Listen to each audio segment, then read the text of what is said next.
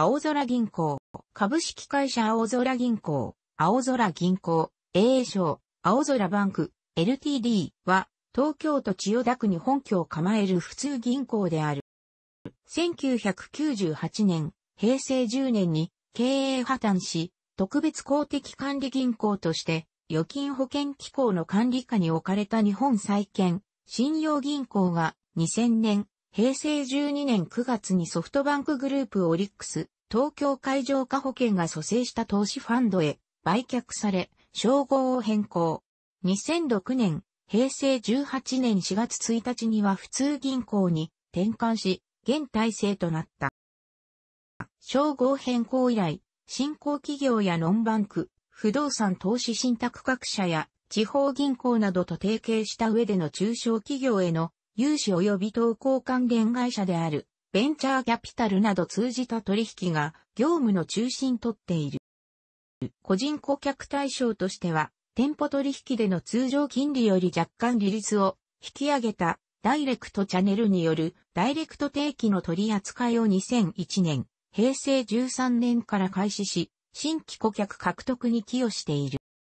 2003年、平成15年以降、筆頭株主であるソフトバンクグループが米国の投資、ファンドサーベラスへ持ち株を売却し、2006年、平成18年11月に被災人から起算すると8年ぶりの東証一部に再上を果たした。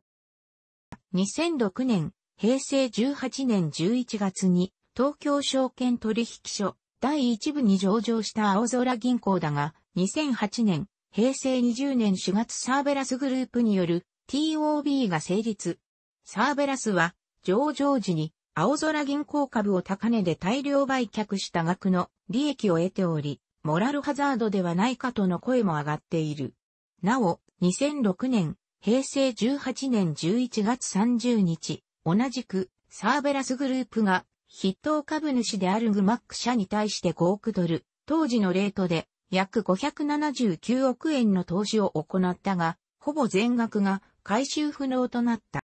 現行名へ変更されてから短いサイクルでトップの交代が繰り返されている。社長は丸山博士が1年、水上博和が3年3ヶ月、フェデリコ・ジェイ・サカサが1年8ヶ月で交代し、会長はエドワード・ハーシュフィールドが1年5ヶ月、マイケル・ロッシュが2年、能見光一が1年で交代している。経営トップの人事は大株主であるサーベラスの意向が強く反映されており、サーベラスの短期間で結果を追い求める姿勢が、安易な経営者の交代と無責任体質を生み出すと批判されている。2008年、平成20年10月以降、会長ポストが空席ながら代表権のない取締役副会長が在籍する状態となっていたが、翌年2月にはフェデリコ・ジェイ・サカサ社長兼 CEO が辞任し、社長不在とな。そして、ブライアン会プリンス副社長執行役員が、代表権もなく取締役でもないまま、社長代行兼 CEO 代行執行役員に就任し、実務を行う形となっていたが、同年6月、代表取締役社長兼 CEO に昇格した。合わせて、馬場、徳岡両副社長に代表権を付与した。2012年9月、ブライアン会プリンス社長が一身上の都合を理由に CEO 職を退任の上で代表権のある会長に就任し、後継には馬場副社長が CEO 兼務で昇格した。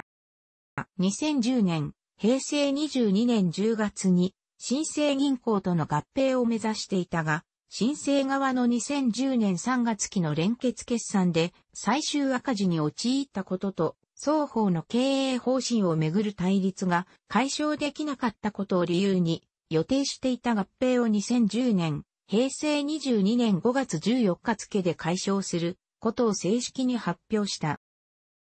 2012年9月、サーベラスが保有株を売却、約9年間のサーベラスの支配から脱却した。サーベラスから送り込まれた経営陣、取締役は2013年6月の株主総会までに順次退任し、被災銀からの生え抜きである馬場晋介らが舵を取る体制となった。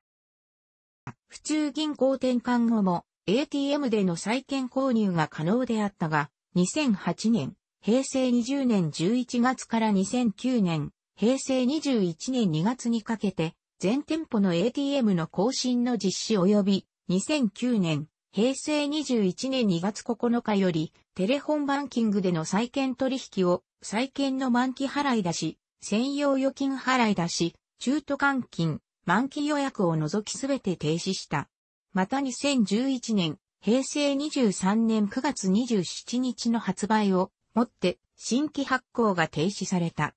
これによって2015年12月7日時点で召喚されていない売り出し債を保有している顧客については、同年9月30日までに申し入れをしなかった場合は、強制的に買い入れ償却され、召喚日までに保有した場合に入る利息を満額支払いすることで債権を消滅させる措置を行い、勘定系システムのリプレイスに合わせて債権勘定の閉鎖が実施された。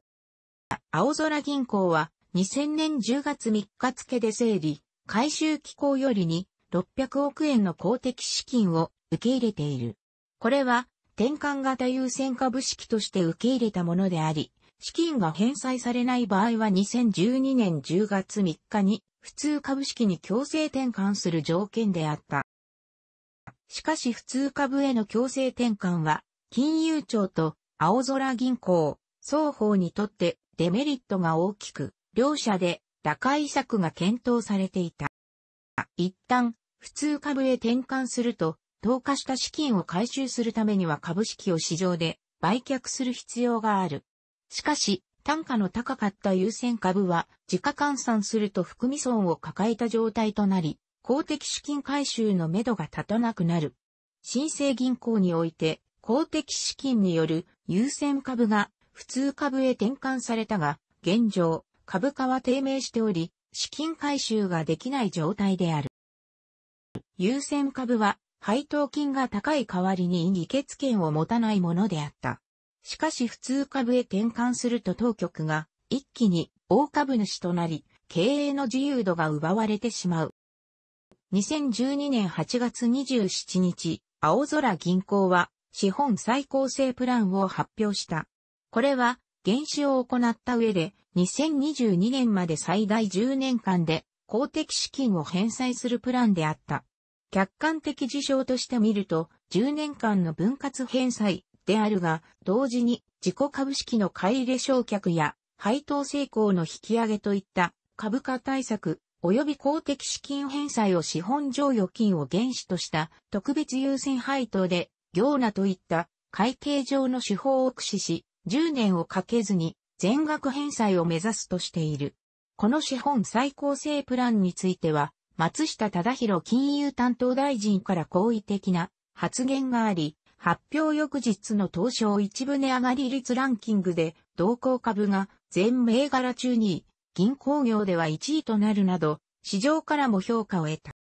2012年9月27日、臨時株主総会を開催し、公的資金返済のための原資、資本金から資本準備金への振り替えが株主総会の特別決議によって承認可決された。同日、筆頭株主のサーベラスが保有株を売却する方針であると発表し、青空銀行も先に公表した自己株式の買い入れにはサーベラスからの買い入れも含まれると発表した。市場ではこれを特定の株主を優遇した施策であると捉えられ、同行株は9月27日の東証一部値下がり率ランキングで全銘柄中4位、銀行業では1位の下落となった。ただし、株価はその後1週間弱でほぼ9月26日の価格まで回復している。2012年9月27日、預金保険機構は青空銀行と公的資金としての優先株式の取り扱いに関する契約書を締結した。2012年10月2日、優先株227億円を買い入れ償却し、公的資金の返済を開始した。2015年6月29日、受け入れた公的資金の残額を完済した。2008年、平成20年10月28日、自己株式の取得を開始すると発表した。取得開始から2009年、平成21年3月末までの4ヶ月半で上限の94%に上る株式を取得している。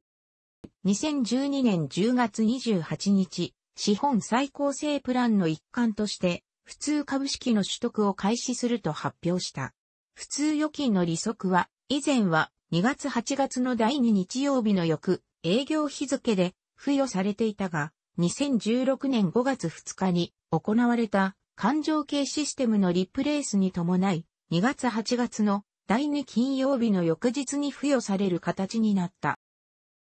漫画作品、関西役、野崎周平、東取、野崎周平で、主人公の野崎が勤務する銀行の名前が、青空銀行であるが、関西役、野崎周平の連載開始は実在の青空銀行へ、改名、2001年前の198年であり、お互いに関連は一切ない。楽しくご覧になりましたら、購読と良いです。クリックしてください。